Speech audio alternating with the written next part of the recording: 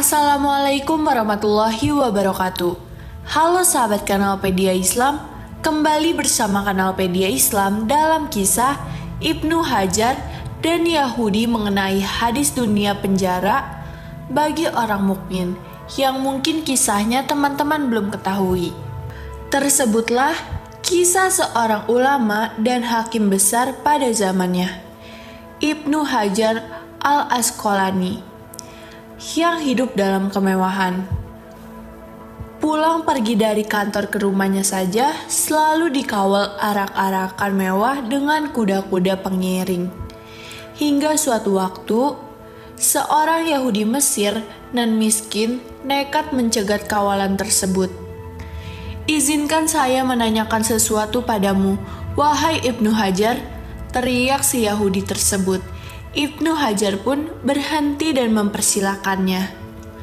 Bukankah dalam hadis nabimu dikatakan dunia itu ibarat penjara bagi orang beriman dan surga bagi orang kafir? Hadis riwayat Muslim.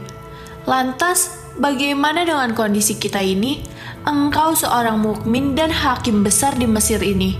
Ternyata engkau ada dalam sebuah arak-arakan mewah, sedangkan saya yang kafir justru berada dalam kesengsaraan. Tutur si Yahudi.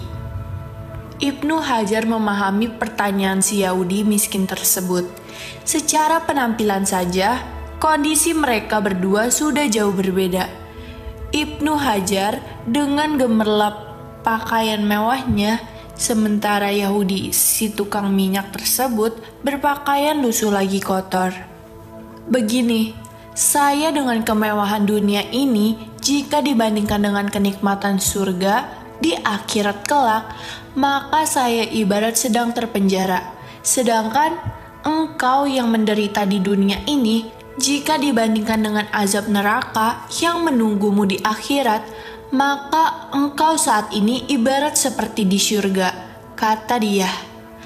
Inilah paradigma yang ingin diubah oleh Ibnu Hajar. Menjadi seorang mukmin tidak identik dengan kemelaratan hidup. Tidak benar jika ajaran Islam mengajarkan umatnya untuk memilih hidup miskin. Kendati Rasulullah SAW pernah tidur dengan pelepah kurma, punya rumah sederhana dan baju, memiliki tambalan. Namun Rasulullah SAW nyatanya seorang pengusaha kaya. Untuk menikahi Khadijah saja, Rasulullah SAW sanggup menghadiahkan mahar 100 ekor unta saat ini, adakah pemuda yang mampu memberi mahar 100 unit mobil seperti Rasulullah dahulu? Rasulullah punya makanan kesukaan paha kanan kambing, suka meminum madu dan susu kambing. Beliau Shallallahu Alaihi Wasallam juga gemar bersedekah dan memberi hadiah, sesuatu yang mustahil dilakukan jika Rasulullah dalam kondisi miskin. Sekali lagi, pola hidup sederhana tidak bisa disamakan dengan miskin atau melarat.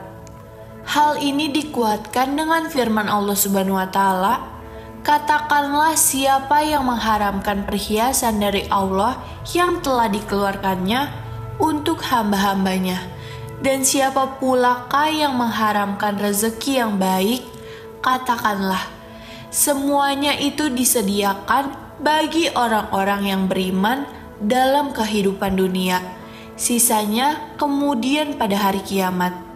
Quran Surat Al-A'raf dalam ayat ini diterangkan perhiasan-perhiasan dunia dan hal-hal yang baik diperuntukkan bagi hamba Allah yang beriman di dunia ini.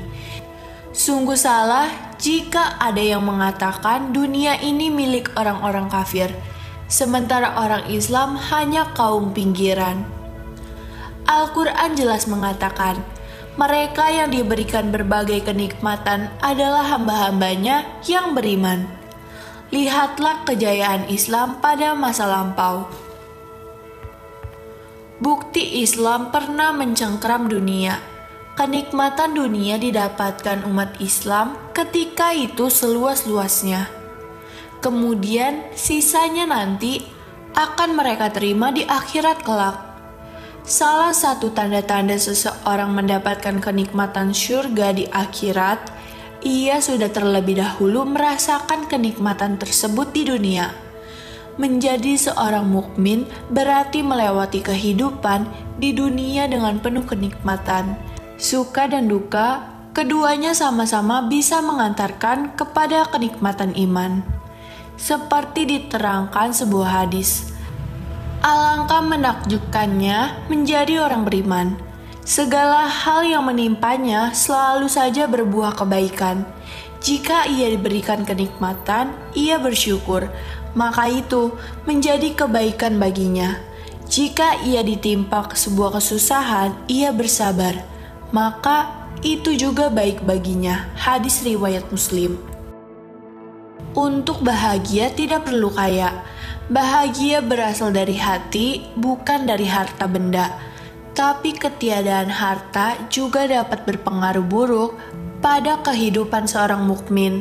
Bagaimana caranya ia akan menunaikan zakat, berangkat haji, atau berangkat berjihad jika ia tidak mempunyai harta? Bagaimana ia akan bersekolah dan menuntut ilmu agama jika ia tidak mempunyai kecukupan biaya? Intinya, beberapa rukun Islam saja tidak akan mampu dijalankan jika ia tidak mempunyai kecukupan harta. Demikianlah kisah Ibnu Hajar dan Yahudi mengenai hadis dunia penjara bagi orang mukmin. Semoga kisah-kisah ini bisa meningkatkan kecintaan kita kepada Islam dan meningkatkan keimanan kita. Amin ya Robbal 'Alamin. Wassalamualaikum warahmatullahi wabarakatuh.